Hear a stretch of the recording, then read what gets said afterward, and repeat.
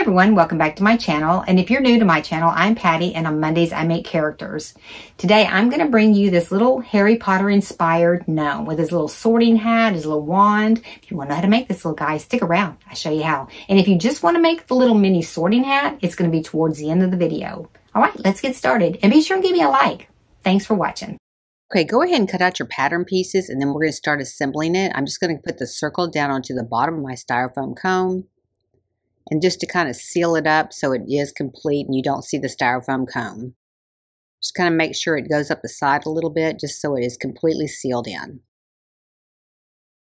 And this is for his shirt. And then for the front part of the shirt, we're going to come down, overhang about a half an inch on the bottom, and we're going to come down around two and a half inches from the top of the cone and just glue that down. Just kind of bend that back and glue it in. And then go ahead and glue down the sides as well, just to make sure that it is secure onto the cone. Okay, next I just cut a piece of felt that's about 3 8 inches wide and I'm just going to go along the edge of the bottom of the jacket, but I'm going to come up about a half an inch from the bottom to start gluing that down.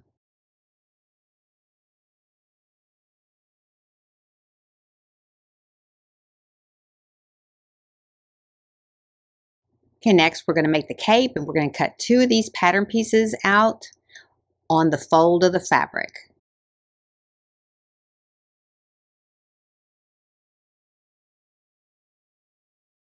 And we're using two of them so that we have it, it's like a lined um, cape. And we're just going to put both of our pieces on top of each other and we are just going to go ahead and glue all the way around them.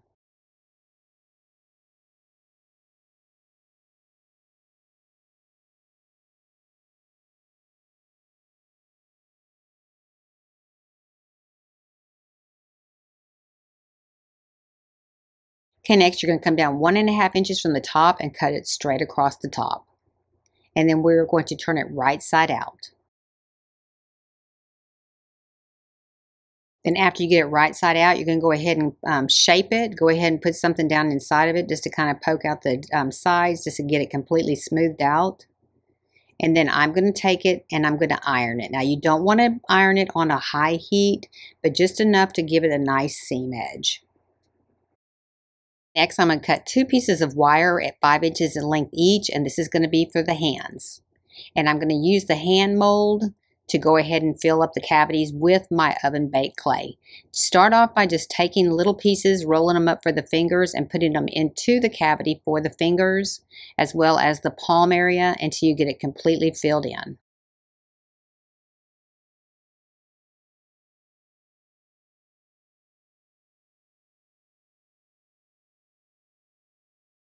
And then once you get it completely filled in, you can start just rubbing it with your finger until you can see the shape of the hand and not the um, clay over the top of it.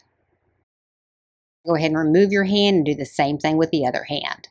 Next, we're going to make a wand. I'm just cutting a piece of wire that I want about the si size of a wand. I put it in his hand to kind of give it sized up, and I'm just going to cover it with some clay, and then I'm just going to roll it out so that it has a pointy part on the top part, and it'll go into his hand.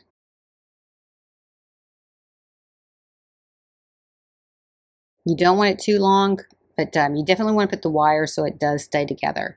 And then I'm just going to go ahead and put wire into the back of each hand as far up as I can go in those. And then I'm going to bend my fingers over so it'll hold the wand. And then bake them at 275 for 20 minutes.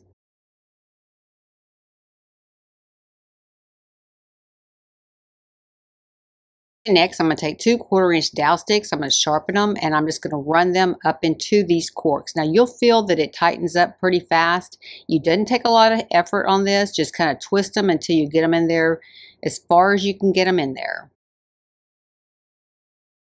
And then we're going to cut them off at four inches each. And this is going to be for his legs. And then I'm just going to use the little tennis shoes for his shoes. And I'll give you the link where I got those in the description below. Okay, next I'm going to add some weight to the toes of his shoes by just placing some 5 16 inch nuts into the front part of each shoe. And I'm using three nuts per shoe. I don't really think after I got done you need three, two would be plenty. And then go ahead and put your cork down in there And then we're going to fill the rest of the cavity up with um, some stuffing just so that it does fill up the shoes a lot better. Okay, then I'm going to take um, some hot glue. I'm just going to pull the cork forward and I'm just going to glue right down the back a little bit. Okay, then we're just going to tie his shoes in a bow.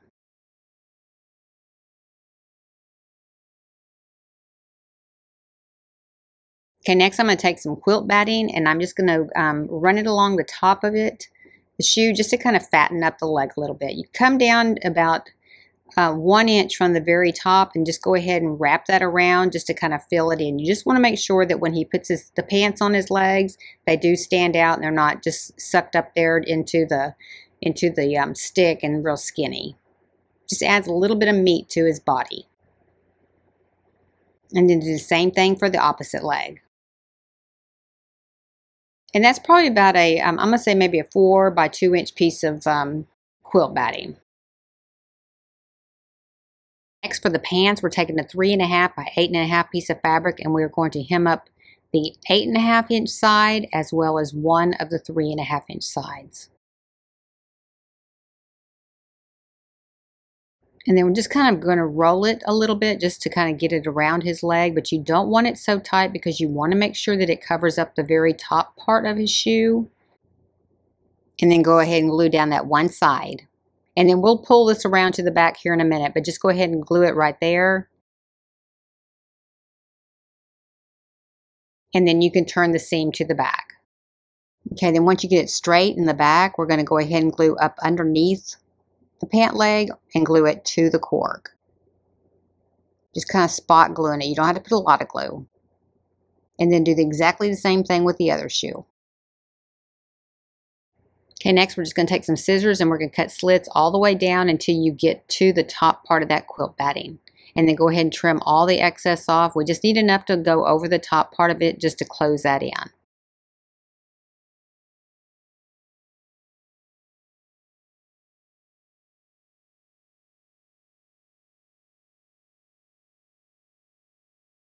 and just kind of make sure that you get it completely closed in where you don't see any of that quilt batting on there.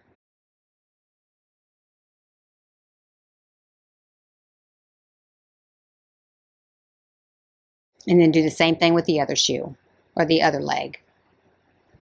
We're going to take a quarter inch dowel stick, sharpen it, and we're just going to poke two holes in the bottom to put the legs in. Just kind of space them in the center part of that um, styrofoam cone and space them out to where they are, are side by side.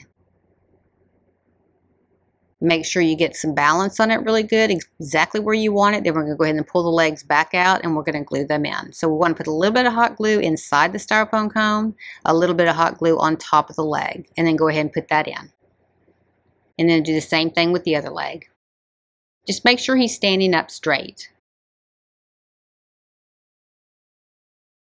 Okay, next we're just going to attach the cape. We're just going to come down an inch and a half on the very tip top and that's where we're going to attach the cape at. So just go ahead and um, glue a little bit on each side and then we'll start wrapping it on around the um, back part. And then we're going to run it down the side on the inside part of where his shirt ends on both sides just to kind of hold it all together.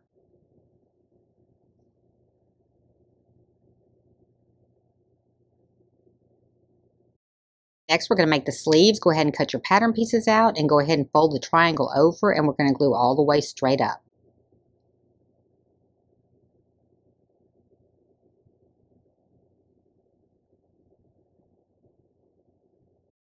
Next, we're going to make the sleeves for his arms. We're taking a two and three quarter inch by three and three quarter inch piece of fabric and we are going to hem up the long end and one short end. And this is going to wrap around his arm so that when you have the cape on him, you don't see the wires.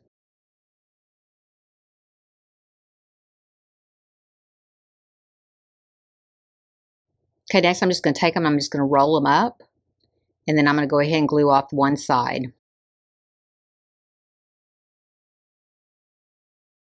And then just stick the wire down in there and go ahead and just glue it to his hand.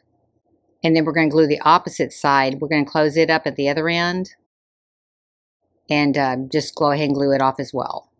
And then do the same thing with the other hand. Okay, next go ahead and clip off the ends of each of the ones, the um, little sleeves for the jacket, and then we're going to just fold up the edges of them on the bottom and hem them up before we turn them right side out. And you just need to hold, um, fold them up maybe about a quarter of an inch at the most.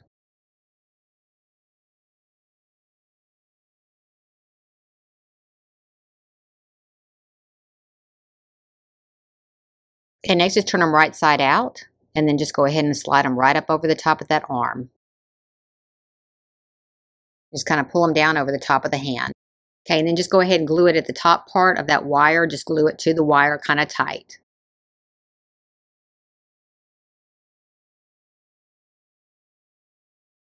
Just kind of make sure that they are straight and they're even. Okay, next we're just going to come down three inches from the top part of that cone. Just poke a hole into the side to attach the arm and then just bend it over because we're going to push it all the way in to even where some of the black part is inside of the, of the arm. And do exactly the same thing for the opposite side. Three inches down, go ahead and poke your hole through there and then attach it.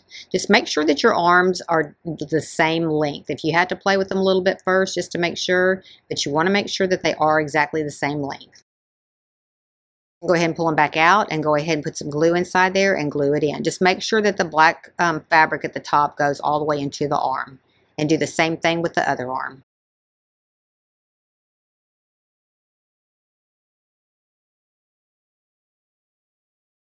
Going to make the beard. I'm just taking a two inch by two and a quarter inch piece of um, faux fur and then I'm just going to trim around the edge in a U shape around the bottom. This was just a scrap piece that I already had.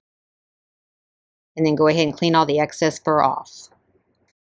Okay, next I'm going to come down three and a half inches from the top of the cone and that's where I'm going to attach my beard. Just take a little hot glue, put it on the back, and just attach it to right to where you just drew that line. For the hat, you're going to cut out two of these pattern pieces and we're going to hook them together. And just going to start right there in that line where that groove is. And that's where you're going to start gluing it. So hold it there until you get it dried. And then we're just going to go ahead and run it up to the top and glue that together. Now you don't have to worry so much about it being completely sealed in at the top. It's okay if you don't.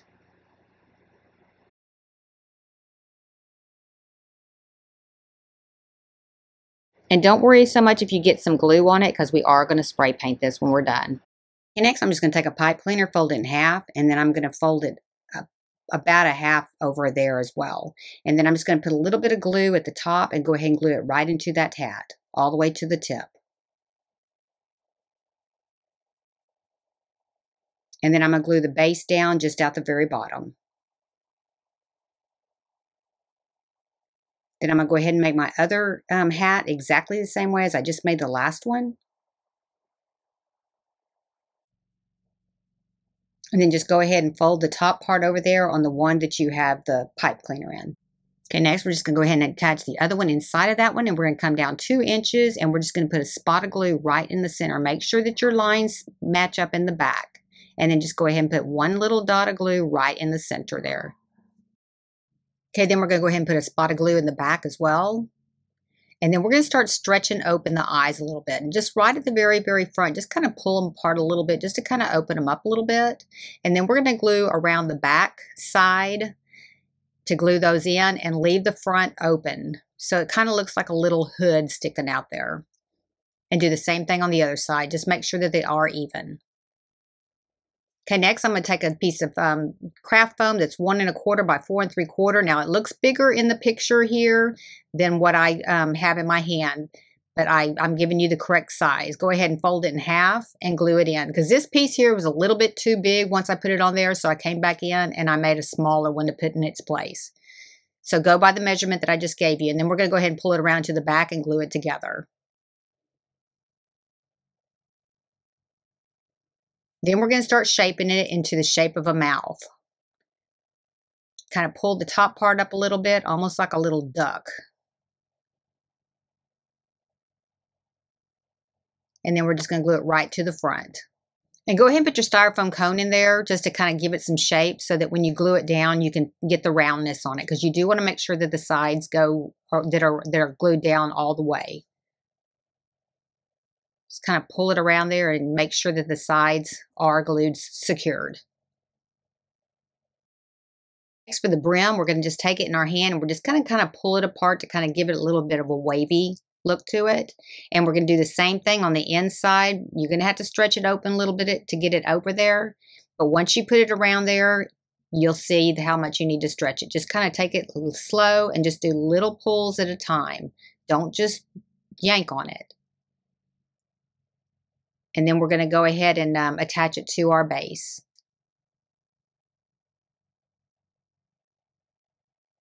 And what we're going to do is we're going to take a little, there's a quarter inch strip that you got to cut out as well. And you're going to go ahead and take it and glue it around the bottom so that this will hold this base in place.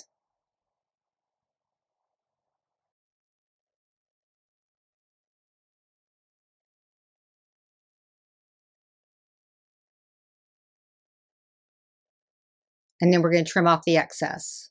Then go ahead and take your hat, pull it back, and then put a bead of glue all the way around the top part of that trim, and then glue that hat down. You don't have to go all the way around it, just kind of just get it spot glued in there.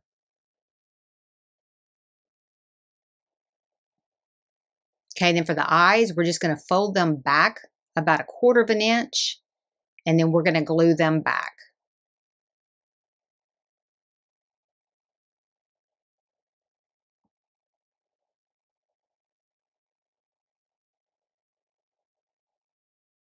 And then take it and spray paint it with some flat brown paint.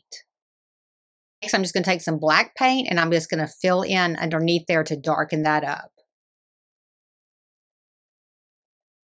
And then I'm going to do the same thing in the, in the middle of the mouth area.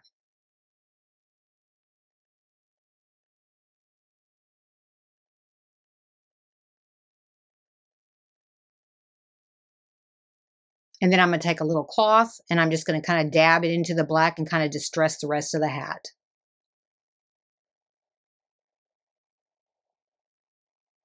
Okay, now we're going to go ahead and attach it. Just go ahead and um, take the hat off. I got out of the camera here a little bit, but you can see I'm just gluing to the top part of the cone and push that hat on down.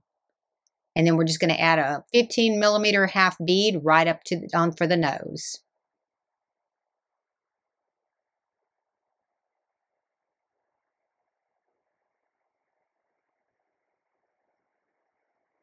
Just right up to the top of that hat.